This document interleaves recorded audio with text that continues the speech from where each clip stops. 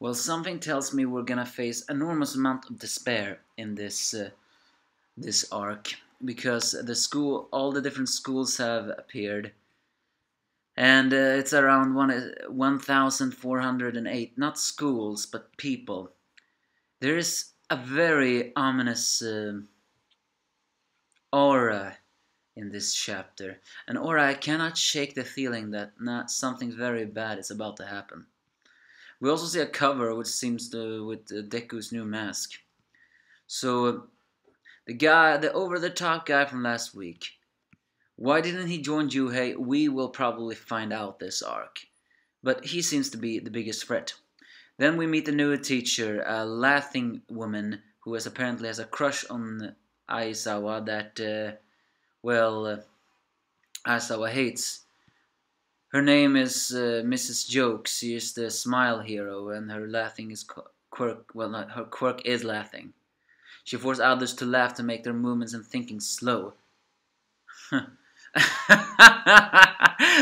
a, that sounds almost like a you pretty useless quirk, but if there's something we have been shown in Boku no Hero Academy that even those that seems worthless can become very versatile if it's used the right way. Shinso, you really are a jackass. You are so naive if you don't if you think you are limited. So yeah, who wonders? We then meets new students and a, a guy as apparently named Shindo who grabs all, all the hands except the Bakugo who only pushes hand away. I mean, that's the first ominous presence. Shindo. Isn't shin, doesn't shin mean uh, heart in Japanese? I mean, shinso also meant uh, heart, uh, didn't it? I cannot help by feeling that Shindo's quirk has something to do when he grabbed their hands. I just have a feeling. And Bakugo may be a jerk, but he is actually pretty well um, um, clear sometimes. The way he says uh, the, your words and face doesn't match. And so the students changing their costume and they're meeting with a new uh, uh, with, with a hero association member called Mera, a guy who is uh, who can't sleep although he's very tired. And I said it wrong. It's apparently 1,540 examiners here. And according to this sleepyhead, it's very likely only 100 will pass. He's also talking about Stain, which much to Deku and um, uh, well, Iida's uh, thoughts. Because after all, he was the one who said that heroes shouldn't de demand reward. They should be earned by self, by, by the, all the sacrificial. In a way, that's true. A hero should never demand something. But Ram also makes a good point when he's saying that uh, those who sacrifice something to save people should sometimes get more.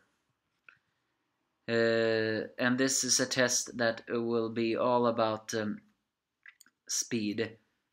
And the condition is actually, well, not easy, but they will each get some kind of balls on their bodies and if uh, uh, and apparently it, anyone who takes down two people with these balls they will pass. And this is no robots and and not and no such things as difference. They will uh, they will have to defeat two people each and they won't pass or they won't pass and so the opening uh, sky is going out, and it turns out that uh, there's a very trend every single test, and that is destroy Yuuei. Uh, because, well, it seems like everyone has a grudge against Yuuei. Maybe because Yuuei is the top uh, hero academy in this place. So all the first year attacks, all the first years of the Yuuei and the, as they throw their balls. Huh, that's strange. I didn't think they were allowed to throw their balls. Uh, or maybe it's the fact, or maybe I misunderstood. Is he meaning to hinting that they need to defeat each other with these balls? Uh, oh yeah, yeah. It's that's that's a thing. Is they had to be hit by by, by the balls, and if all three targets lighten up, it's considered a, loss. But the first years that consider immediately I want them to work together because well uh, the schools can work together. But of course, Bakugo run away. Kishimaru has to stop him and tell Todoroki, well, he is um, his power is too powerful. But then Deku, Ashido, Mineta, Oshaku, and Tokoyami each deflect the different balls, and then we see Shindo smiling. As Aizawa says, the reason why he didn't tell this to his students because they need to overcome their crisis themselves, because that's what a hero does. Aizawa may be a jerk teacher, but he is surprisingly, uh, uh, what's that word? Not clear headed.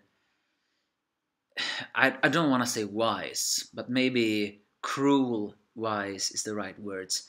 Everything he says is cruel, but it also carries a certain amount of truth and wisdom in it. So 100 people will pass.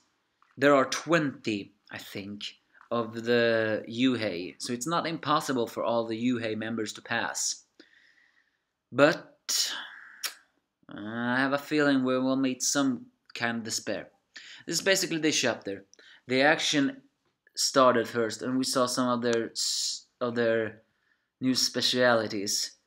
Although Ushakus were the only one I didn't really see so much clear for. Ashido seems to create acid whips. So, who will uh, will they get out of? Uh, will they get out of this? Will Yuuei's teamwork be even stronger? Give me your thoughts if you have any.